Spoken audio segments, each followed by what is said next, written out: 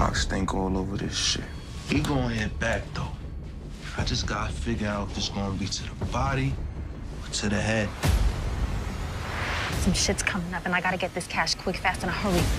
Kanan, need some help. Mommy told me the stash off limits. I ain't supposed to touch it. We're gonna be in and out so fast you won't even know we was there. Neither will she. It's us against everybody.